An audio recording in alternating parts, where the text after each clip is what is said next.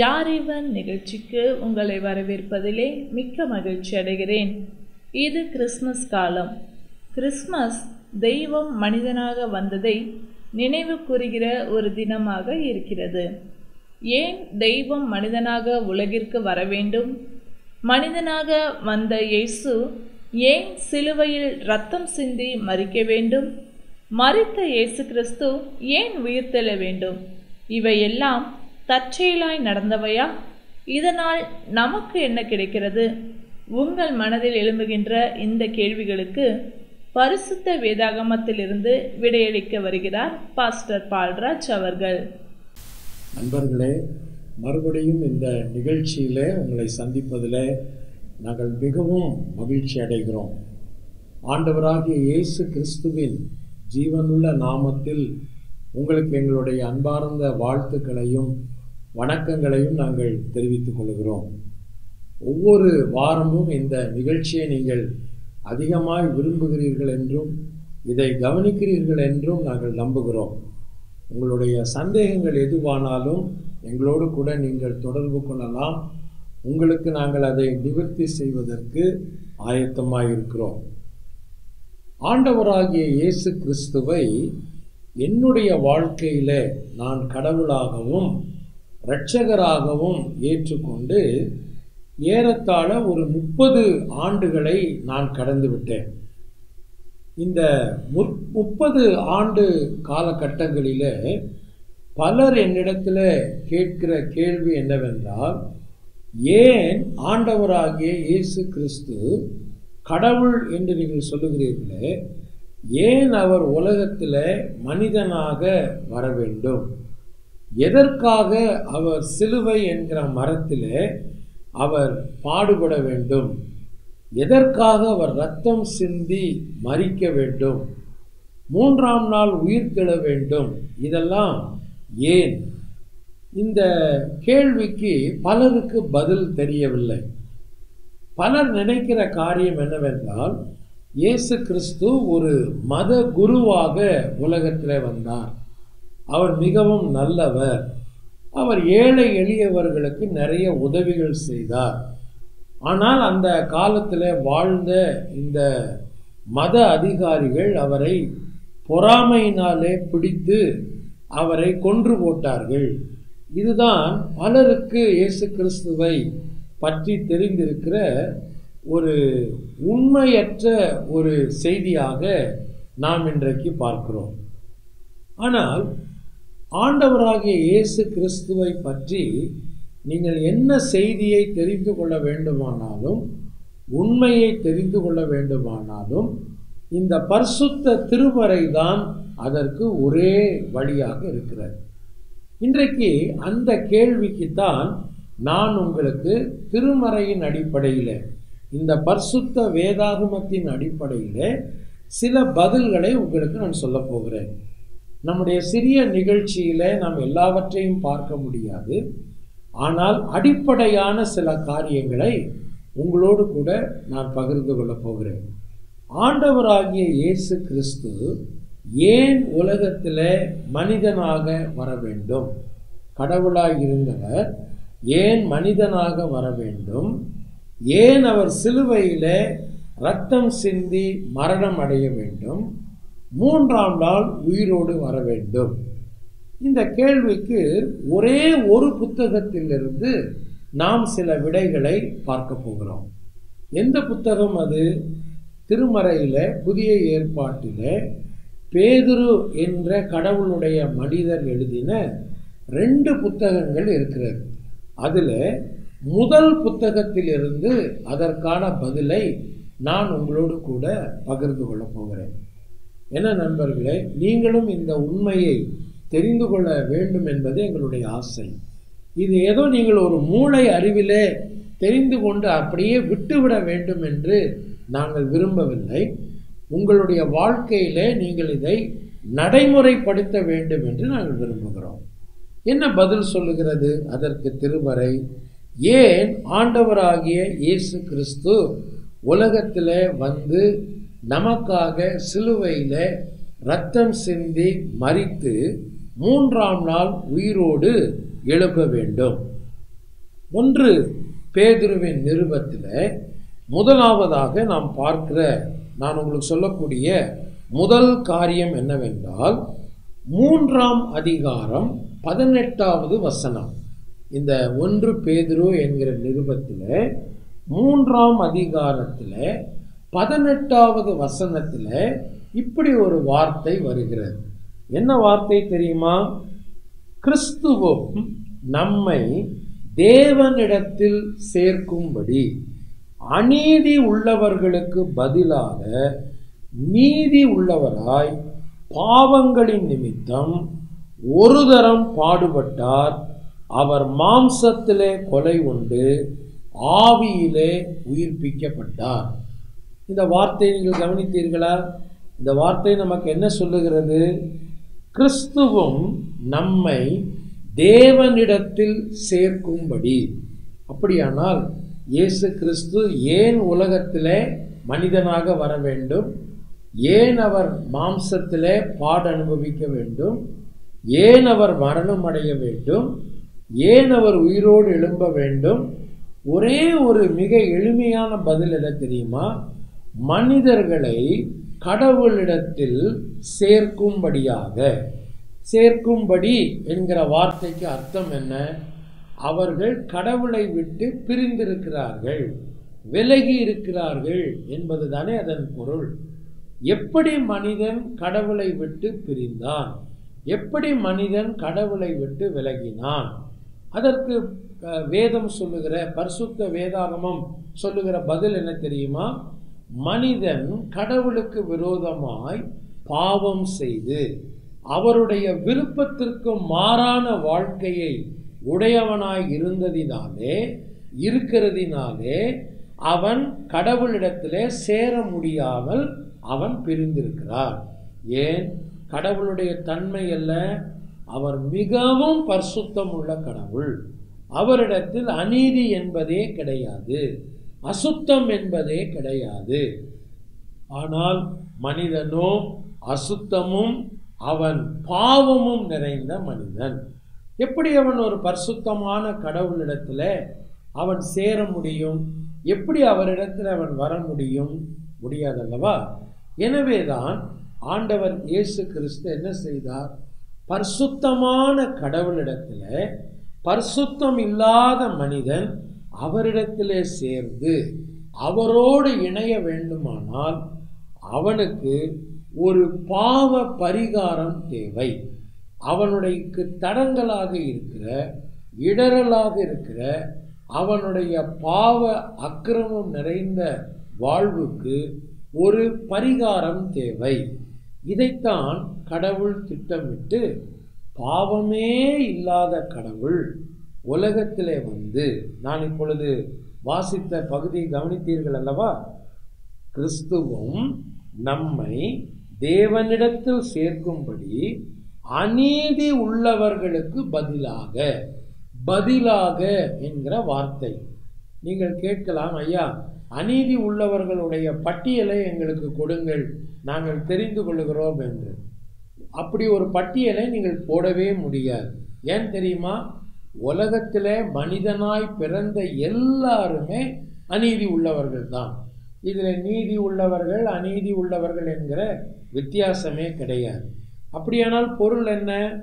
எல்லா மனிதர் மனிதருக்காகவும் அநீதி உள்ள மனிதருக்காகவும் நீதி உள்ளவராக கடவுளாக இயேசு கிறிஸ்து மனிதனாக வந்து நம்முடைய பாவங்களின் நிமித்தம் ஒரே தரம் சிலுவையிலே அவர் பாடுபட்டு மாம்சத்திலே கொலை உண்டு ஆவியிலே உயிர்ப்பிக்கப்பட்டார். எதற்காக? நம்மை கடவுளிடத்தில் சேர்க்கும்படி. அருமையான நண்பனே உன்னுடைய வாழ்க்கையில் பணம் இருக்கலாம் உனக்கு பொருள் இருக்கலாம் உனக்கு சம்பாத்தியங்கள் இருக்கலாம் உனக்கு ஆஸ்திகள் இருக்கலாம் ஆனால் உண்மையான கடவுளோடு நீ இணைந்திருக்கிறாயா? உன்னுடைய வாழ்க்கை உண்மையான கடவுளோடு சேர்க்கப்பட்டிருக்கிறதா? நீ நல்லவன் என்கிற பெயரை உலகத்திலே வாங்கியிருக்கலாம். ஆனால் அதெல்லாம் திருமறை ஏற்றுக்கொள்வதில்லை. ஒரு மனிதன் உண்மையிலேயே கடவுளிடத்தில் தன் வாழ்க்கையை இணைத்து கொள்ள வேண்டுமானால் அவன் என்ன செய்ய வேண்டும்? நான் பாவமுள்ள மனிதன் எனக்காக ஆண்டவராகிய இயேசு கிறிஸ்து அநீதி உள்ள எனக்காக நீதி உள்ள அவர் சிலுவையில் ரத்தம் சிந்தி மறித்து அவர் அடக்கம் பண்ணப்பட்டு மூன்றாம் நாள் உயிர்த்தெழுந்தார். இதை நான் நம்புகிறேன் ஏற்றுக்கொள்கிறேன் என்று சொல்லும் பொழுது அவனுடைய உள்ளத்திலே ஆண்டவர் வருவார். அவன் கடவுளோடு இணைக்கப்பட்டு கடவுளுடைய பிள்ளையாக மாறுவார். என்ன நண்பர்களே இது நாம் தெரிந்து கொள்ள வேண்டிய முதல் காரியம். இரண்டாவது காரியம் என்ன? ஏன் ஆண்டவராகிய இயேசு கிறிஸ்து மனிதனாய் உலகத்திலே வந்து பாடுபட்டு மறித்து மூன்றாம் நாள் உயிரோடே வர வேண்டும். இரண்டாவது நமக்கு கிடைக்கிற பதில் என்ன தெரியுமா? அதே ஒன்று பேதுருவின் நிறுவம் ரெண்டாம் அதிகாரம் இருபத்தி நான்காவது வசனத்தை நான் உங்களுக்காக வாசிக்கிறேன். நீங்கள் கவனியுங்கள். நாம் பாவங்களுக்கு செத்து நீதிக்கு பிழைத்திருக்கும்படிக்கு அவர் தாமே தமது சரீரத்திலே நம்முடைய பாவங்களை சுமந்தார். அவருடைய தழும்புகளால் குணமானீர்கள். நீங்கள் வா வாசித்த வா வார்த்தையை கவனித்தீர்களா? மிக தெளிவாக திருமறை என்ன சொல்லுகிறது என்றால் நாம் பாவங்களுக்கு செத்து நீதிக்கு பிழைத்திருக்கும்படிக்கு. அப்படியானால் இன்றைக்கு மனிதனுடைய பொதுவான ஒரு மனிதனுடைய நிலை என்ன தெரியுமா? இது தலைகீழாக இருக்கிறது. உலகத்தில் ஒரு சராசரியான மனிதனிடத்தில் இந்த உண்மை தலைகீழாக செயல்படுகிறது. எப்படி தலைகீழாக செயல்படுகிறது? அவன் நீதிக்கு செத்திருக்கிறான் பாவங்களுக்கு பிழைத்திருக்கிறான். இதுதான் ஒரு ஜென்ம சுபாவத்தோடு ஒரு சராசரியாக உலகத்தில் வாழ்கிற மனிதனுடைய நிலை. சரியா? அப்படியானால் எப்படி மாற வேண்டும் மனிதன்? நீதிக்கு செத்தவனாகவும் பாவங்களுக்கு வாழ்கிறவனாகவும் அல்ல பாவங்களுக்கு அவன் சாக வேண்டும் நீதிக்கு பிழைத்திருக்க வேண்டும். எப்படி பாவங்களுக்கு சாவது? தற்கொலை செய்து கொள்வதா? நம்முடைய வாழ்க்கையை முடித்து கொள்வதா? அதுவல்ல அதற்கு அதற்கு நமக்கு நிவாரணம். அதற்கு நிவாரணம் ஒரே ஒரு நிவாரணம் தான் என்ன அது? பாவங்களுக்கு சாவதென்றால் அர்த்தம் என்ன? பாவத்தை வெறுத்து அசுத்தத்தை வெறுத்து பரிசுத்தமான காரியத்தின் மேலும் பரிசுத்தமான கடவுளின் மேலும் வாஞ்சையாகவும் தாகமாகவும் இருப்பது. கடவுளுடைய விருப்பத்தை அவனுடைய ஆவியிலே ஆத்துமத்திலே சரீரத்திலே முழு மனதோடு நிறைவேற்றுவது. அதுதான் பாவங்களுக்கு சாவது நீதிக்கு பிழைத்திருப்பது. இதற்குரிய பலன் ஒரு மனிதன் தானே பெற்றுக்கொள்ள முடியாது. அவனுடைய புண்ணியத்தினாலேயோ அவனுடைய நல்ல வாழ்க்கையினாலேயோ அவனுடைய மூதாதரிகள் செய்த புண்ணியத்தினாலேயோ இதை அவன் சம்பாதிக்க முடியாது. ஒரே வழிதான் இருக்கிறது. என்ன வழி? ஆண்டவராகிய இயேசு கிறிஸ்துவை தன் சொந்த இரட்சகராக அவன் உள்ளத்தில் ஏற்றுக்கொண்டு ஆண்டவராகிய இயேசுவே நீர் என்னுடைய இரட்சகர். நான் ஒரு பாவி என்னை மன்னித்து என் பாவங்களை மன்னித்து என்னை கடவுளுடைய பிள்ளையாக மாற்றும் என்று யார் கடவுளுக்கு தன் வாழ்க்கையை அர்ப்பணிக்கிறானோ அவன்தான் பாவங்களுக்கு செத்தும் நீதிக்கு பிழைத்தும் இருக்க முடியும். நீங்கள் வாழ்கிற வாழ்க்கை எப்படிப்பட்டது? நீங்கள் விரும்புகிற காரியத்தை உங்களால் செய்ய முடிகிறதா? நீதியோடு வாழ நீங்கள் ஆசைப்படுகிறீர்களே அது உங்களால் முடிகிறதா? ஏன் முடியவில்லை? ரகசியம் இதுதான். ஏன் ஆண்டவராகிய இயேசு கிறிஸ்து மறித்து உயிர்த்தெழ வேண்டும்? முதலாவது நாம் என்ன பார்த்தோம்? நாம் கடவுளிடத்தில் சேர்க்கப்பட வேண்டும். இரண்டாவது நமக்கு கிடைத்த பதில் என்ன? நாம் நீதிக்கு செத்து பாவங்களுக்கு பிழைத்திருக்கிற வாழ்க்கையை விட்டு பாவங்களுக்கு நாம் செத்து நீதிக்கு பிழைத்திருக்கிற வாழ்க்கைக்கு திரும்ப வேண்டும். மூன்றாவதாக திருமறை ஏன் ஆண்டவராகிய இயேசு கிறிஸ்து உலகத்தில் மனிதனாக வந்து அவர் மறித்து உயிர்த்தெழ வேண்டும் என்பதற்கு கொடுக்கிற பதில் என்ன? மூன்றாவது பதில் என்ன? முதலாம் அதிகாரம் இருபத்தி ஓராவது வசனத்தை நான் உங்களுக்காக படிக்கிறேன். உங்கள் விசுவாசமும் நம்பிக்கையும் கடவுள் மேல் இருக்கும்படி அவரை மரித்தோரிலிருந்து எழுப்பி அவருக்கு மகிமையை கொடுத்தார். நீங்கள் வா வாசித்த காரியத்தை கவனித்தீர்களா? அந்த வார்த்தை மிக எட தெளிவாய் சொல்லுகிறது பாருங்கள். உங்கள் விசுவாசமும் நம்பிக்கையும் கடவுள் மேல் இருக்கும்படி தேவன் மேல் இருக்கும்படி அவரை மரித்தோரிலிருந்து எழுப்பி அவருக்கு மகிமையை கொடுத்தார். அப்படியானால் இந்த உலகத்தில் என்னுடைய நம்பிக்கை என்னுடைய விசுவாசம் என்னுடைய சாறுதல் பொய்யான ஒன்றின் மேல் அல்ல மாயையான ஒன்றின் மேல் அல்ல என்னை காப்பாற்ற முடியாத ஒரு விஷயத்தின் மேல் அல்ல உண்மையான ஜீவனுள்ள ஒரே கடவுள் மேல் என்னுடைய சாறுதலும் என்னுடைய வாழ்வாதாரமும் இருக்க வேண்டும் என்றால் அதற்கு ஒரே வழி இயேசு கிறிஸ்துவின் மரணமும் உயிர்த்தெழுதலும் தான். அப்படியானால் என்ன நடக்கிறது? எந்த மனிதன் ஆண்டவராகிய இயேசு கிறிஸ்துவை தன் சொந்த இரட்சகராக உள்ளத்தில் ஏற்றுக்கொள்கிறானோ வானத்தையும் பூமியையும் படைத்த ஒரே சர்வ வல்லமை உள்ள கடவுளிடத்தில் அவன் சேர்க்கப்படுகிறான். அவனுடைய வாழ்வாதாரத்தை அவருக்குள் வைத்துக் கொள்ளுகிறான். அவனுக்கு ஒரு நித்தியமான நிரந்தரமான நம்பிக்கையை அவன் பெற்றுக்கொள்கிறான் என்ன நண்பர்களே இது மூன்றாவது காரியம்.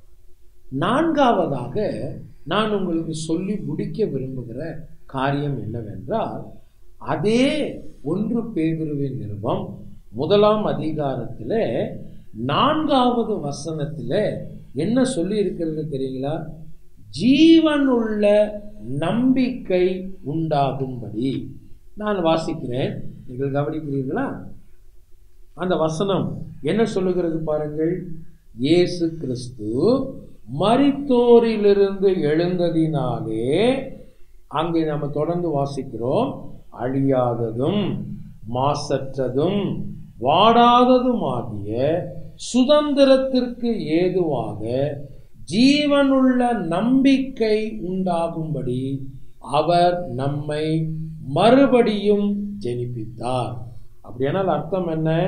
இயேசு கிறிஸ்துவின் மரணம் எதற்காக உயிர்த்தெழுதல் எதற்காக என்னுடைய வாழ்க்கையில ஒரு ஜீவனுள்ள நம்பிக்கை உண்டாகும்படி. ஜீவனுள்ள நம்பிக்கை என்ன? என்றால் அர்த்தம் என்ன தெரியுங்களா? உயிருள்ள நம்பிக்கை.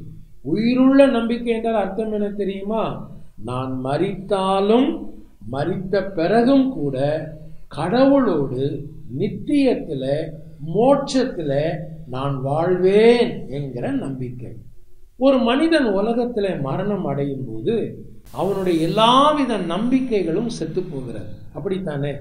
ஆனால் எந்த மனிதன் இயேசு கிறிஸ்துவை தன் உள்ளத்தில் ஏற்றுக்கொள்ளுகிறானோ அவனுக்கு ஒரு ஜீவனுள்ள நம்பிக்கை இருக்கிறது. எப்படி தெரியுமா? அவன் மரணத்திற்கு பிறகும் கடவுளோடு நித்திய ராஜ்யத்தில் வாழக்கூடிய பாக்கியத்தை அவன் பெறுகிறான். என்ன நண்பர்களே இந்த ஆசீர்வாதம் உங்களுடைய வாழ்க்கையில் கிடைத்திருக்கிறதா? நான் ஏற்கனவே சொன்னது போல நீங்கள் மிகப்பெரிய மனிதராக இருக்கலாம். எல்லா விதமான செல்வங்களை அனுபவிக்கிற மக்களாக இருக்கலாம். ஆனால் இந்த ஆசீர்வாதங்கள் உங்கள் வாழ்க்கையில் இல்லாவிட்டால் உங்களுடைய வாழ்க்கை வீணானது. சொல்வீர்களா ஆண்டவரிடத்தில்? ஆண்டவராகிய இயேசுவே நான் ஏன் உம்மை நம்ப வேண்டும்? எதற்காக நீர் எனக்காக சிலுவையில் மறித்து ரத்தம் சிந்தி உயிரோடு எழும்ப வேண்டும். ஒன்று நான் கடவுளிடத்தில் சேர்க்கப்பட வேண்டும். இரண்டாவது நான் பாவங்களுக்கு செத்து நீதிக்கு பிழைத்திருக்க வேண்டும். மூன்றாவது என்னுடைய விசுவாசமும் என்னுடைய நம்பிக்கையும் உண்மையில் இருக்க வேண்டும். நான்காவதாக என்னுடைய வாழ்க்கையில் ஒரு உயிருள்ள மாசற்ற நம்பிக்கை உண்டாக வேண்டும். என்ன நண்பர்களே இதை நீங்கள் ஏற்றுக்கொள்ள விரும்புகிறீர்களா? புரிந்து கொள்ள விரும்புகிறீர்களா? என்னோடு சேர்த்து தலைவணங்கி தாழ்மையோடு கேளுங்கள். ஆண்டவராக இயேசுவே என்னுடைய உள்ளத்திலே வாரும். உம்முடைய மரணத்தையும் உயிர்த்தெழுதலையும் நான் ஏற்றுக்கொள்கிறேன். நான் இப்பொழுது கேட்ட இந்த நான்கு ஆசீர்வாதங்களையும் எனக்கு சொந்தமாக்கும் என்று கேட்பீர்களா? நாம் தலைவணங்கி ஜெபிப்போம். சில வினாடிகள் என்னோடு பிரார்த்தனை செய்வீர்களா? நான் சொல்லுவதை நீங்கள் அப்படியே சொல்லலாம். ஆண்டவராகிய இயேசுவே உம்முடைய மரணத்தை பற்றியும் உம்முடைய உயிர்த்தெழுதலை பற்றியும் நான் கேட்டேன். நான் இப்பொழுது கேட்ட நான்கு ஆசீர்வாதங்களையும் பெற்றுக்கொள்ள விரும்புகிறேன். என்னுடைய உள்ளத்திலே வாரும். என்னுடைய பாவங்களை மன்னியும். என்னை உம்முடைய பிள்ளையாக மாற்றும். ஆமே என்ன நண்பர்களே தாழ்மையோடு இந்த ஜெபத்தை நீங்கள் ஏறெடுத்திருப்பீர்கள் என்று நான் நம்புகிறேன். நாம் பிரார்த்தனை செய்து இந்த நிகழ்ச்சியை நிறைவு செய்வோமா? என்னோடு நீங்கள் பிரார்த்தனையில் இணைந்து கொள்ளலாம். அன்பின் ஆண்டவரே இந்த மகிழ்ச்சியான நிகழ்ச்சிக்காக உமக்கு ஸ்தோத்திரம். மீண்டும் ஒரு முறை உம்முடைய திரு சத்தத்தை நாங்கள் கேட்டோம்.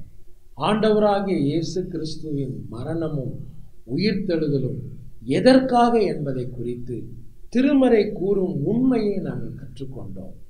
கற்றுக்கொண்ட உண்மையை ஏற்றுக்கொண்ட மக்களை ஆசீர்வதியும். தொடர்ந்து இந்த நிகழ்ச்சியை எங்களுக்கு ஆசீர்வதித்து தாரும். இயேசுவின் நாமத்தில் பிதாவே ஆமே கடவுள் உங்களை ஆசிர்வதிப்பாராக. ஆமென்.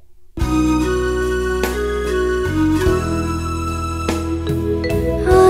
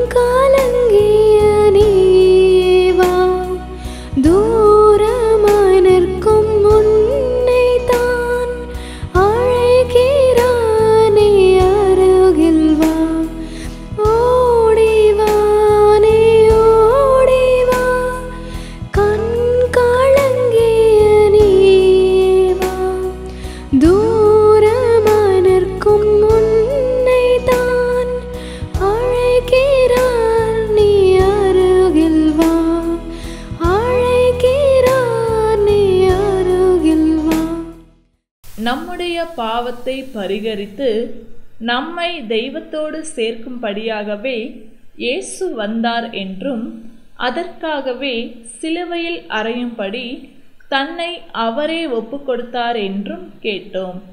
நமக்கு ஒரு ஜீவனுள்ள நம்பிக்கையை கொடுக்கவே தெய்வமாயிருந்த இயேசு கிறிஸ்து இந்த உலகில் மனிதனாய் வந்து நம்முடைய பாவத்தை தன் மீது ஏற்றுக்கொண்டு நமக்கு பதிலாக சிலுவையில் ரத்தம் சிந்தி மறித்தார் மறித்த இயேசு கிறிஸ்து அடக்கம் பண்ணப்பட்டு மூன்றாம் நாள் உயிருடன் எழுந்தார். உங்களுடைய தவறுகளை இயேசு கிறிஸ்துவிடம் சொல்லி அவர் உங்களுக்காக மறித்தார் என்று நம்பி அவரை உங்கள் வாழ்வில் ஏற்றுக்கொண்டால் அவர் உங்களை பாவத்திற்கு செத்து நீதிக்கு பிழைத்திருக்கிறவர்களாக மாற்றி உங்களை தெய்வத்தோடு சேர்த்து வைப்பார். ஆண்டவராகி இயேசு கிறிஸ்துவை ஏற்றுக்கொண்டு தெய்வத்தோடு ஒரு நல் உறவை ஏற்படுத்தி கொள்ள விரும்புகிறீர்களா? உங்களுக்கு ஆலோசனை கூறவும் உங்களுக்காக ஜெபிக்கவும் ஆவலாய் இருக்கிறோம். இந்த நிகழ்ச்சி குறித்த உங்கள் கருத்துக்களையும் கேள்விகளையும் எங்களுக்கு தெரியப்படுத்துங்கள். எங்கள் முகவரி ஒளியும் வாழ்வும் இயக்கம் சி இருபத்தி ஆறு ஜெய்நகர் திருவெரும்பூர் திருச்சிராப்பள்ளி ஆறு இரண்டு பூஜ்ஜியம் பூஜ்ஜியம் ஒன்று மூன்று. அலைபேசி எண் ஏழு ஐந்து ஒன்பது எட்டு ஒன்று மூன்று ஏழு நான்கு நான்கு ஒன்று மற்றும் ஒன்பது நான்கு எட்டு ஏழு பூஜ்ஜியம் பூஜ்ஜியம் ஏழு நான்கு நான்கு ஒன்று. Email ID TV at Lala dot ORG dot IN அடுத்த வாரமும் இதே நேரத்தில் மற்றொரு யாரிவர் நிகழ்ச்சியை காண தவறாதீர்கள். இவ்வளவு நேரம் இந்நிகழ்ச்சியை கண்டு கழித்தமைக்கு நன்றி. இயேசு கிறிஸ்துவின் மூலம் கிடைக்கும் ஜீவனுள்ள நம்பிக்கை தரும் உண்மையான நிம்மதி உங்கள் உள்ளங்களையும் இல்லங்களையும் நிரப்புவதாக ஒளியும் வாழ்வும் இயக்கம் சார்பாக உங்களுக்கு எங்கள் வாழ்த்துக்கள். வணக்கம்.